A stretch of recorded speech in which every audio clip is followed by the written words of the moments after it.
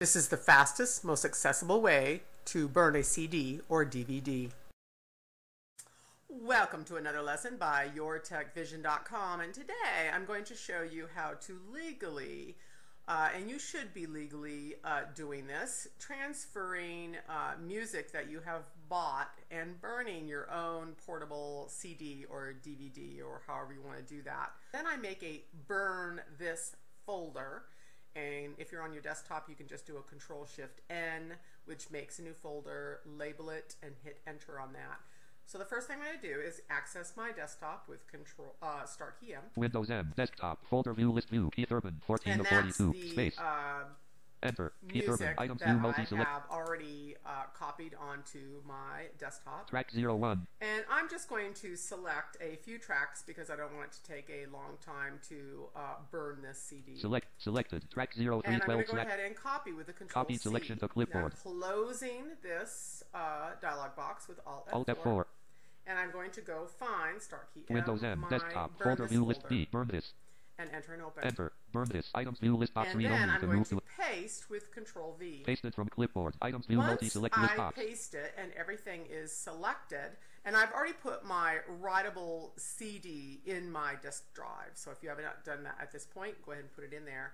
You need all your files selected, and I'm hitting my applications key. Your applications key is to the right of your spacebar. It's typically the key that no one ever uses. Once you hit it, you're going to find a whole world of options. Other people call it context menu. applications, context menu, to navigate, press up or down arrow, key, I'm going key, to go ahead and I'm going to send to. So I'm down arrowing to send to, open, oh, scan, select, share with, sub- send to sub menu, N, and I'm right arrowing on that. compressed left parent, zip right parent folder, C, Now my uh, DVD SD happens to be at the bottom, so I'm up arrowing. DVD RW, drive left parent, And D colon right me parent, RW, D, it's a writable drive, so I'm hitting enter on this. Enter. Track 03. Leaving menus. Items view multi-select list box. Track 03. So 12 the slash first question is, well, what do you want to title this? It automatically puts the date in, January 31, 2015.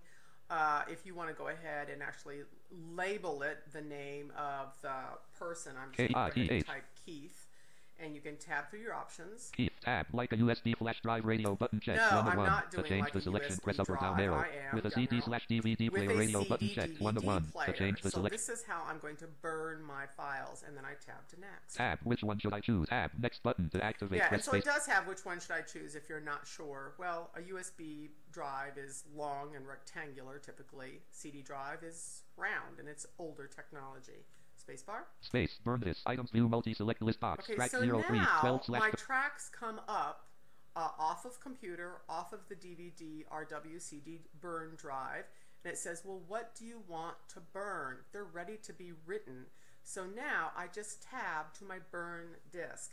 Now the easiest way to do this, and there's many ways to get around. You could tab all the way around, you could shift tab all the way around in here, but I'm going to Alt D. Alt D. Address edit combo. D colon And backslash. it To set the value, use the arrow keys or type the value. D. tab. Tab. Search box edit. Type I'm in not gonna text. Search. tab. Command module toolbar. Organize Command button to activate. Press space bar. And then I right arrow, Burn the disk button. burn to disk, and I hit enter. Enter. Burn the disk. Disk title colon edit. Keith. Type in text. Okay, it Alt says D.